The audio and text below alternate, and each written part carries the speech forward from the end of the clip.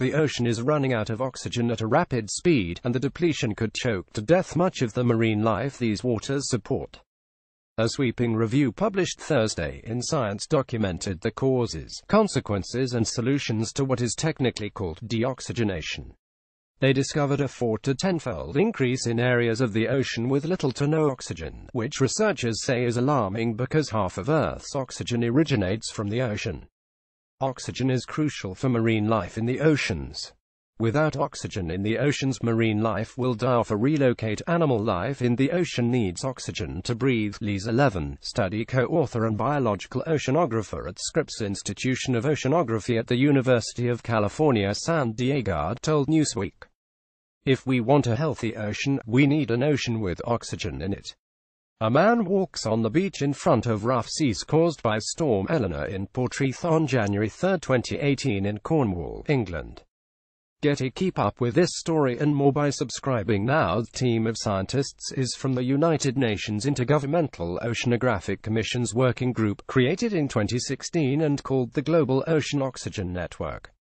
They noted that the amount of water in the open ocean without oxygen has quadrupled in 50 years. It is more than twice as bad for coastal waters, such as estuaries and seas. In those sites, low oxygen areas have increased tenfold since 1950. This paper is the first to look at both ocean and coastal waters, which are often studied separately. Deoxygenation directly results in devastation for people's livelihoods. Fish kills in a single town in the Philippines cost over $10 million, according to the researchers. Coral reefs are valued at $172 billion per year, according to the Smithsonian's National Museum of Natural History. Already stressed and bleaching corals, caused by increased sea surface temperatures, can be harmed by a lack of oxygen too. There are a whole bunch of livelihoods that depend on a healthy ocean that doesn't smell and have a lot of dead stuff in it, Levin said. When the oxygen gets very low in the ocean, animals leave if they can, Levin added. Those species will relocate, get eaten or starve to death. Pakistani fishermen work at sea during sunset near the port city of Karachi on December 31, 2017. Getty, the change is connected with warmer ocean temperatures. Warmer water holds less oxygen, Levin explained. Also, increased surface temperatures make it more difficult for oxygen to reach relatively deeper parts of the ocean the majority of oxygen loss is occurring at 300 to 2,200 feet deep. For reference, some parts of the ocean are 7 miles deep. Oxygen is typically replenished when surface water mixes with the deeper water, but when the oceans are hotter, there is less vertical mixing. A second source of deoxygenation also plagues the coastal waters. Although this problem has nothing to do with warmer waters caused by human-induced climate change, humans aren't off the hook. Excess nutrients from agriculture and sewage cause excess algae growth.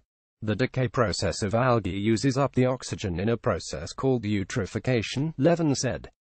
A man sails on a small boat on December 17, 2017 in the French Riviera city of Nice.